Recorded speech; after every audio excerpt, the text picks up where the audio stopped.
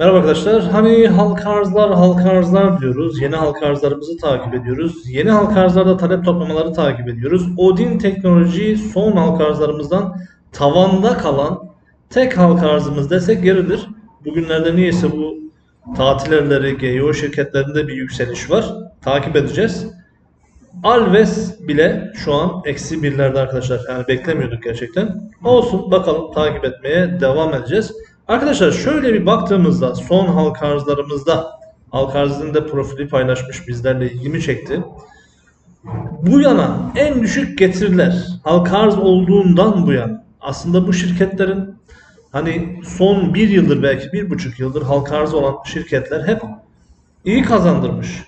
Ta ki ta ki yılbaşından önce gelen GEO şirketleri, inşaat şirketleri halka arzlarında ne yazık ki bir eksiye gitme durumu vardı. Bunda da başı Avrupa Kent ve Sur tatil evleri çekiyor arkadaşlar. Şu anki durumda Avrupa Kent arz fiyatının %24 altında ne yazık ki. Sur tatil evleri %12 altında. Çok kötü getiriler elde etmişler. Biyen yapı hani sektör olarak da inşaat sektörü içinde bulunan Biyen yapıda ne yazık ki eksi ikilik bir getiri var. Ve buradan yine hatırlatmadan edemiyorum. Kale seramik yatırım tavsiyesi olmamak kaydıyla ben biriktiriyorum. Kale seramikte de beklediğimiz o yükselişler bir türlü gelmiyor arkadaşlar. Yani bundan sonra bir yapıdan sonra zaten artıya geçiyor ama enflasyon karşısında ne yazık ki mesela Çatalazı, Tapkıda, Asça GEO, Ataköy Patates, Kuzu Grup GMO bunlar hep eksi vermiş durumda. %17'lere kadar düşmüş baksanıza. Yani artı %17 ama enflasyon karşısında eksi getiride.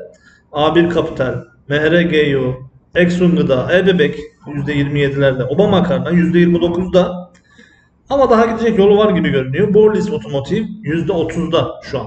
Ama enflasyon altında görünen o ki şöyle ufak bir hesapla aslında enflasyon altında kalmışlar diye düşünebiliriz. Hani hep diyoruz ya birkaç bilanço görelim uzun vade halka arz şirketlerinde bile hani birkaç bilanço görelim ondan sonra karar verelim uzun vade biriktir, biriktirmeyeceğimizi.